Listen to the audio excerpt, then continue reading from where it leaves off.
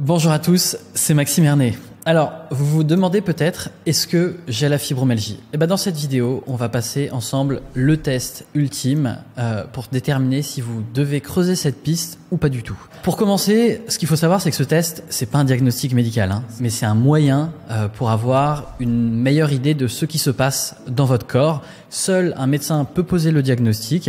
Euh, L'objectif de ce test, c'est de savoir si justement vous pouvez c'est une bonne idée de pouvoir creuser cette piste ou pas. Et justement, si c'est une bonne idée de creuser cette piste, et eh bien ensuite de pouvoir aussi en discuter avec votre médecin.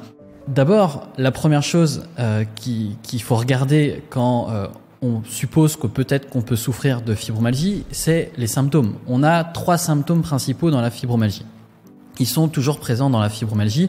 Le symptôme principal, c'est d'abord le premier, ce sont des douleurs. Donc on a des douleurs un peu partout. Donc elles sont ce qu'on appelle des douleurs diffuses. Donc elles peuvent être un petit peu partout dans le corps. Il y a souvent euh, des endroits qui, qui, ont, qui sont toujours douloureux. Euh, et après, il y a des douleurs qui peuvent euh, aller et venir à différents endroits du corps. Ces douleurs, l'intensité peut aussi évoluer. Parfois, elles peuvent être très puissantes, parfois elles peuvent être pas du tout présentes. la localisation peut évoluer, l'intensité peut évoluer. Il y a des personnes pour qui c'est au quotidien, il y a toujours des douleurs et des personnes pour qui c'est en période de crise. Premier, donc, premier symptôme, les douleurs. Deuxième symptôme, euh, on a ce qu'on appelle un sommeil non réparateur. Un sommeil non réparateur, eh bien, c'est le fait que on dorme ou qu'on dorme très très mal, mais en tout cas le matin quand euh, on se réveille, euh, on est dans un état très compliqué puisque le sommeil n'a pas été autant réparateur qui devrait. Euh, ce qui fait que très souvent, quand on souffre de fibromyalgie, le matin, on est dans un état plus catastrophique que la veille quand on est allé se, se coucher. Dans le sommeil, il y a des gens qui euh, vont, par exemple, ils vont souffrir de fibromyalgie et ils vont dormir 12 heures euh, d'une traite, par exemple, euh, mais le matin, quand ils se réveillent, même s'ils ont une quantité de sommeil importante, la qualité n'est pas là et même avec 12 heures de sommeil, ils sont dans un état catastrophique, euh, le sommeil n'a pas été réparateur. D'un autre côté, euh, il y a l'opposé, il y a des gens qui euh, vont pas du tout réussir à dormir, et donc bah, de la même façon, le sommeil n'a pas été récupérateur.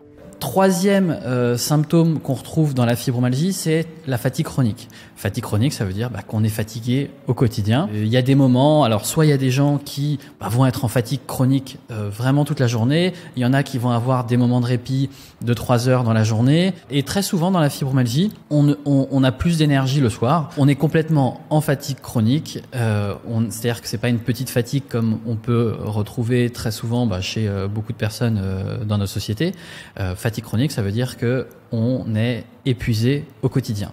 Alors après, une autre caractéristique qui est euh, là-dessus, euh, justement, qui est en lien avec cette fatigue chronique, vu que souvent quand on est fibromyalgique, on fonctionne beaucoup au mental, hein, on y va, il faut faire les choses, il faut y aller, euh, et donc on utilise souvent notre énergie du système nerveux pour essayer d'avancer dans notre journée, mais en fait notre énergie réelle, elle est à plat. Donc là, on a vu les trois symptômes principaux qui sont bah, les douleurs diffuses, le sommeil non réparateur et la fatigue chronique. Il y a aussi des autres symptômes facultatifs entre guillemets qu'on peut retrouver dans la fibromyalgie. Bah, certains symptômes, il y a 30% euh, des personnes fibromyalgiques qui les ont et, euh, et, et pour d'autres c'est 50%.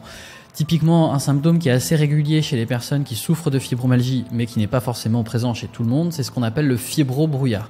Le fibrobrouillard, c'est bah, le, le, le, fait de sentir vaseux, le, le fait d'avoir des difficultés de, de, de discussion avec différentes personnes, le fait de d'avoir des pertes de mémoire faciles, le fait de, de sentir vaseux au niveau de la tête, de voir que ça connecte mal et qu'on a du mal à suivre plusieurs conversations, à, à se rappeler des choses. On peut avoir des vertiges il peut y avoir euh, un brouillard mental, euh, suivre des conversations à plusieurs qui peut être compliqué, difficulté de concentration, perte de mémoire. Tout ça, ce sont des caractéristiques euh, du, du fibrobrouillard qui peut être assez présent chez les personnes qui souffrent de fibromyalgie. On peut aussi avoir euh, une euh, hyper irritabilité, euh, c'est-à-dire que très souvent, ce qui peut se passer aussi quand on souffre de fibromyalgie, on se reconnaît pas trop. C'est-à-dire que parfois on peut s'énerver de manière très importante, alors que c'est pas dans notre tempérament de s'énerver pour un rien. Eh bien, c'est tellement on est fatigué, tellement on a mal qu'à un moment, bah, on est hyper irritable. Et après aussi, on peut avoir cette, ce qu'on appelle cette hypersensibilité, c'est-à-dire que, par exemple, l'humidité, le mauvais temps peut accentuer les symptômes de la fibromyalgie. Euh, trop de lumière peut intensifier aussi euh, nos douleurs. Voilà, il y a un ensemble de choses, trop de bruit, qui peuvent complètement venir euh, continuer à favoriser, à intensifier les symptômes de la fibromyalgie. C'est cette hypersensibilité. ensuite, quand on a vu les symptômes, si vous correspondez aux trois symptômes principaux et que peut-être vous avez aussi des symptômes secondaires facultatifs à côté de ces symptômes principaux, eh bien, on va passer aussi à la deuxième caractéristique euh, qui crée, qui explique euh, le, terrain de la fibromyalgie. On va parler des émonctoires. Alors, euh, les émonctoires, ce sont toutes les voies d'élimination naturelle du corps. Hein, donc, le corps, comme tout, le corps humain, comme tout être vivant dans la nature, a des émonctoires, donc a des voies d'élimination des déchets du corps. Euh, parce que tout organisme pour vivre euh, a, besoin de consommer des choses et quand on consomme des choses, ça crée des déchets et ces déchets obligatoirement ils doivent sortir du corps euh, pour qu'on soit en bonne santé. Quand on souffre de fibromyalgie, normalement on doit toujours voir qu'il y a une insuffisance émonctorielle. Alors qu'est-ce que ça veut dire une insuffisance émonctorielle Ça veut dire que les émonctoires ne fonctionnent pas aussi bien qu'ils le devraient. Alors je vais faire des généralités, euh, mais on se retrouve très souvent dans, dans ce cas-là quand on souffre de fibromyalgie. Euh, quand on parle du système digestif, quand on regarde l'état du système digestif d'une personne qui souffre de fibromyalgie, normalement, on doit voir que le système digestif ne fonctionne pas aussi bien qu'il devrait. Souvent, on est plutôt de nature constipée, ou euh, on alterne entre constipation et diarrhée, ou on est en diarrhée chronique si, si on a un système digestif qui est en hyperinflammation. On peut voir qu'on gonfle facilement du ventre, ou on peut avoir des lourdeurs à l'estomac, des reflux gastro-œsophagiens, Deuxième élément, on peut regarder souvent euh, la peau des personnes qui souffrent de fibromyalgie. On a souvent une peau qui est plutôt sèche, donc ça montre qu'elle fonctionne pas comme il faudrait. Souvent, on transpire peu, donc ça montre que bah a rien qui sort vraiment euh, par cette euh, par cet émonctoire. Et donc bah les déchets ne peuvent pas sortir par la peau non plus. De la même façon, si on regarde euh, au niveau des reins, euh, les reins qui sont euh, aussi qui sont aussi un émonctoire extrêmement important dans la fibromyalgie puisque c'est aussi un, un, émonctoire par enfin c'est l'émonctoire principal où les cristaux peuvent sortir. Les cristaux c'est ce qui nous encrasse dans la fibromyalgie, le type de toxine qui nous encrasse et très souvent quand on regarde euh, quand on souffre de les personnes qui souffrent de fibromyalgie, eh bien au niveau des reins, elles ont des reins qui fonctionnent à bas régime. On va avoir souvent des urines euh, très pâles ou voire même transparentes. Donc si elles sont transparentes, ça montre qu'il n'y a rien qui sort à l'intérieur, il n'y a pas de déchets, c'est que de l'eau. Et donc euh, alors qu'on est surchargé complètement en cristaux, eh bien on devrait avoir des urines super chargées justement pour que le corps élimine. Eh bien on voit que bah, y a, ça ne sort pas par les reins. Alors une, caractéristique qui est aussi en rapport euh, très souvent avec les personnes fibromyalgiques que je n'ai pas encore, euh, à laquelle je n'ai pas encore d'explication, je ne comprends pas, mais avec l'expérience, avec le nombre de personnes fibromyalgiques que j'ai accompagnées, eh bien, j'ai pu voir que une bonne partie des personnes qui souffrent de fibromyalgie sont souvent dans ce cas-là. Donc, ça ne veut pas dire que forcément on est dans ce cas-là, mais euh, souvent les personnes fibromyalgiques n'aiment pas consommer trop d'eau, ne boivent pas trop d'eau, ou quand elles boivent de l'eau, c'est toujours de l'eau aromatisée. Ça va être du café, du thé, des tisanes, enfin des boissons aromatisées. Et le problème dans tout ça, c'est que bah déjà si on boit pas d'eau, eh bien les reins euh, ne fonctionnent pas assez. Et deuxièmement, en plus si l'eau que l'on consomme euh, c'est de l'eau aromatisée, eh bien ça va faire encore moins travailler les reins. Il est primordial aussi de réussir à réactiver ces pots d'échappement, ces émonctoires, pour que les déchets puissent sortir.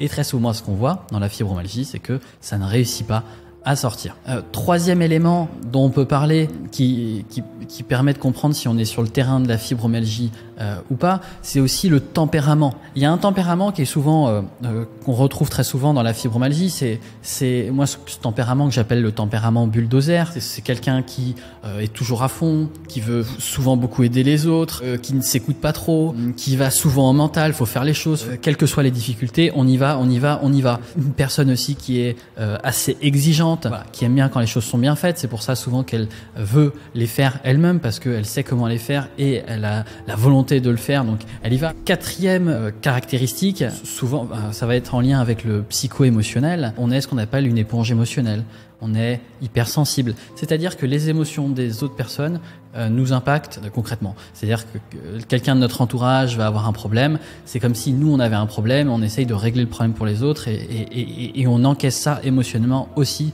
Une autre caractéristique qui est en rapport avec le psycho-émotionnel, euh, souvent ce qui se passe c'est que quand on souffre de fibromyalgie, on a le petit vélo dans la tête qui est toujours à fond toujours, toujours, toujours à fond à euh, penser à ce qu'il faut faire, ce qu'il faut faire, ce qu'il faut faire. Toujours, voilà, le petit vélo ne s'arrête jamais. On ne trouve pas le bouton off pour l'arrêter. Et Troisième caractéristique qui est aussi en rapport avec euh, le psycho-émotionnel, mm. c'est souvent qu'on est en anxiété chronique. On est toujours à, avoir peur qu'il y ait quelque chose qui se passe. Et donc c'est pour ça que aussi, qui est en rapport avec le petit vélo, a toujours euh, essayé de, de, trouver une solution avant qu'il y ait un problème euh, qui arrive. On est toujours voilà, en anxiété chronique très souvent quand on souffre de fibromyalgie. Et c'est pour ça que dans la fibromyalgie, on a souvent des personnes qui ont des métiers pour l'aide aux autres. J'ai beaucoup de personnes qui sont aides-soignantes, institutrices infirmière, aide à la personne, dans des associations, bref, plein de métiers toujours à l'aide à la personne. C'est pour ça on souffre de fibromyalgie, il y a souvent une dizaine d'affirmations, enfin dans la majorité de ces affirmations où on peut se retrouver. Je suis perfectionniste. Je vis euh, plutôt euh, dans l'anxiété. Je fais les choses au-delà de mes limites. Je sens une grande douleur morale intérieure qui me suit constamment. Euh, ça provient généralement euh, bah, d'un événement qui a été la cause d'une grande culpabilité personnelle. Je ne me sens pas réellement à la hauteur. Je sens beaucoup de pression de la part de mon entourage, alors qu'au fond, euh, c'est moi-même qui me pousse beaucoup trop. J'ai une colère intérieure. J'ai l'impression de ne pas recevoir assez d'amour de mon entourage. Je me force indéfiniment à assumer des responsabilités que je n'ai pas réellement choisies.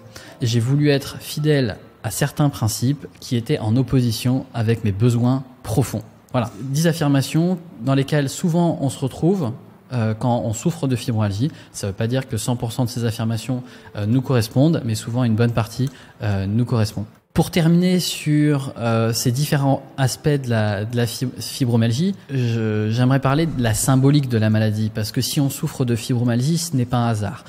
Et moi, comment je vois en fait la symbolique de cette maladie, c'est que on est, c'est un peu comme si vous, vous rouliez à 300 km heure toute votre vie sur l'autoroute. Hein. Vous alliez chercher les gens, vous les mettiez dans la voiture, euh, fallait qu'ils aillent à des endroits. On était voilà 300 km heure, fallait avancer, fallait avancer, fallait avancer. Le problème dans tout ça, c'est que sur le tableau de bord, il y avait des indicateurs qui disaient bah non, euh, là il va falloir euh, peut-être laisser reposer le moteur, entretenir la voiture, laisser reposer le, le conducteur. Mais vous, tant que la voiture elle fonctionnait, vous avez continué, continué, continué, continué. Et à un moment, ce qui s'est passé, c'est que le moteur il a explosé. Et euh, là, vous n'avez pas compris, la voiture, elle s'est arrêtée net.